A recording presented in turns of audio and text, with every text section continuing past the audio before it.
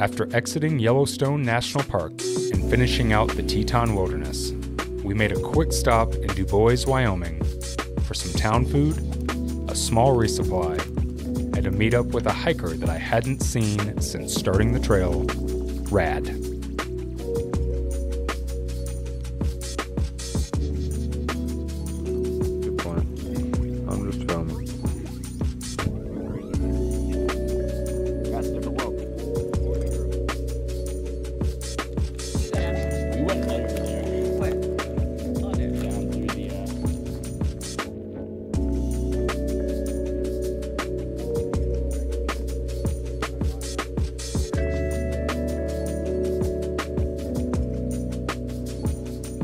Heading into the winds, which for most southbounders was the most highly anticipated section of the trail, we attempted to make another quick stop in Pinedale, Wyoming to celebrate my 36th birthday.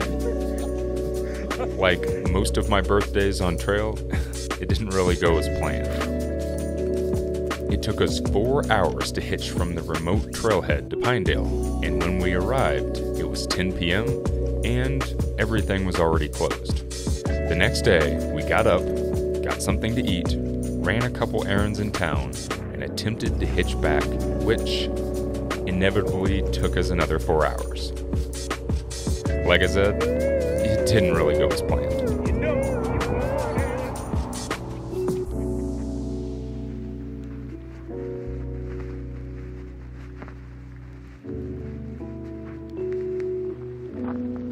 Off and rolling a little later than usual this morning. Uh, we ended up getting back to the trailhead last night at about 9 p.m. and then we ended up hiking three miles. So we didn't really get to uh, fall asleep until about 11 p.m. So, because of that, a little bit later of a start. But we basically camped at the base of the entrance or the gateway into the winds. And this morning, whoo has been beautiful so far. The last couple days uh, weren't so great. We we basically wasted 24 hours trying to get in and out of a town total. But sometimes that happens on a through hike. Um, I'm just really excited to be into what is said to be the best part of this entire hike. So, uh, yippee! Um, guess here we go. Time to see what today has in store.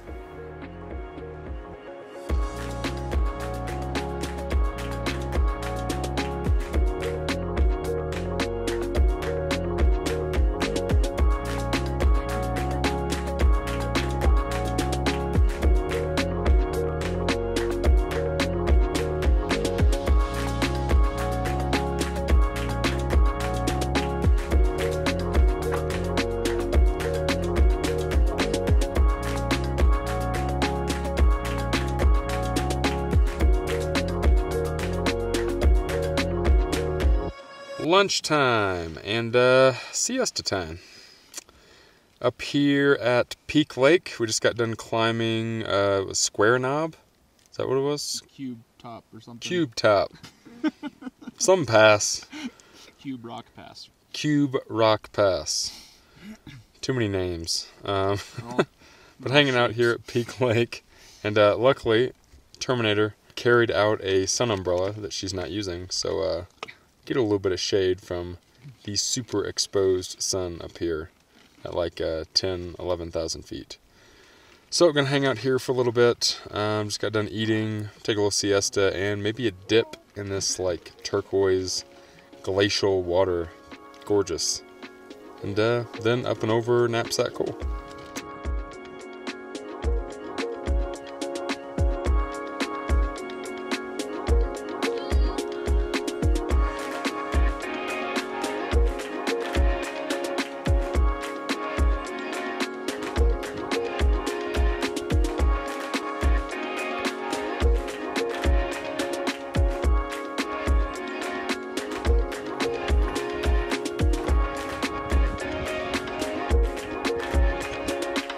Just made it to the top of Knapsack Col.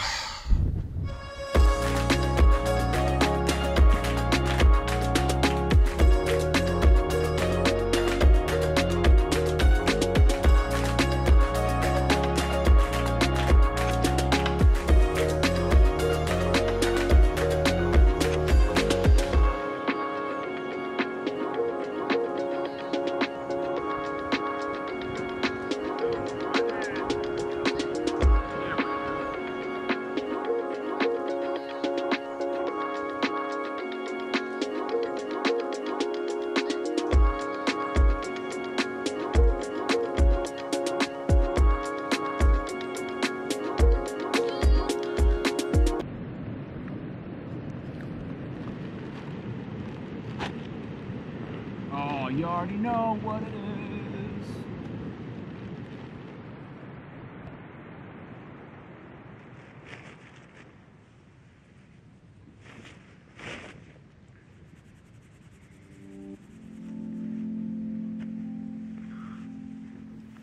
Good morning. So, yesterday ended up being about a 21, 22 mile day and a brutal day at that.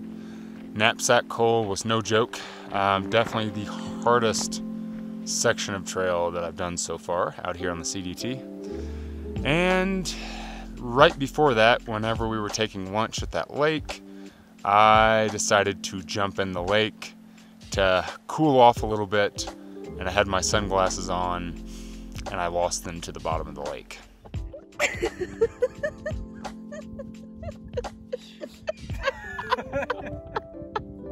so, uh, rest in peace to my awesome Tifosi prescription sunglasses. So, um, I don't really know what I'm going to do as far as sunglasses go from here on out. Um, but regardless, we had an amazing campsite last night. Uh, it's a beautiful morning, um, and the winds so far, fantastic. Can't complain, aside from the sunglasses thing. So, um, I think we're going to try to put in a little bit bigger of a day than what we did yesterday.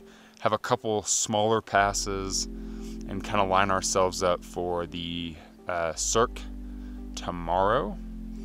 Um, but yeah, hopefully today isn't as brutal as yesterday was as far as the passes go.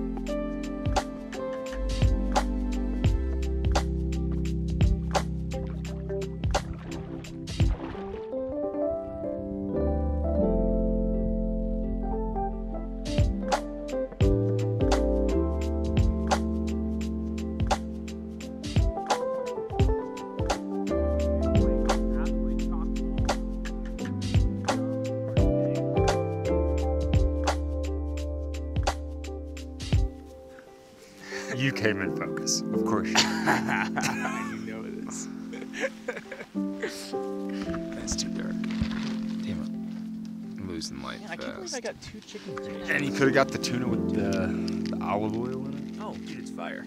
Yeah. So, at the end of another day, uh, ended up being like a little over 28 miles, or right at 28 miles, which wasn't bad considering uh, we had like two passes, maybe three, if you want to count like a couple of these little climbs a pass. That was a pass and a half. yeah, I'd say it's three and a half pass day. three and a half, easily. um, we got about eight miles until we start the Cirque alternate, and then uh, that's like 21 miles. So tomorrow should be a pretty fun day. It's supposed to be really beautiful, so forget the definitely looking for. Oh yeah, blowdowns too. So got that to look forward to. So about to eat, crash out, get up, and uh, make our way into the Cirque.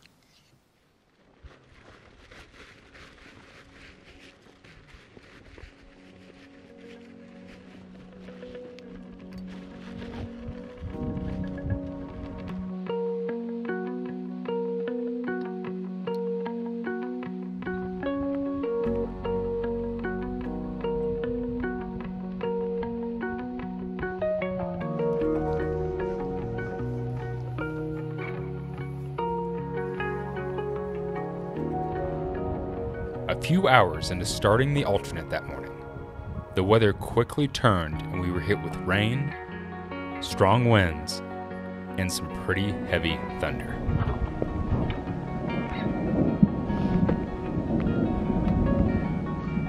Even though it was a little sketchy going up Texas Pass, as soon as we got over the top, the skies began to clear and we were rewarded for our efforts.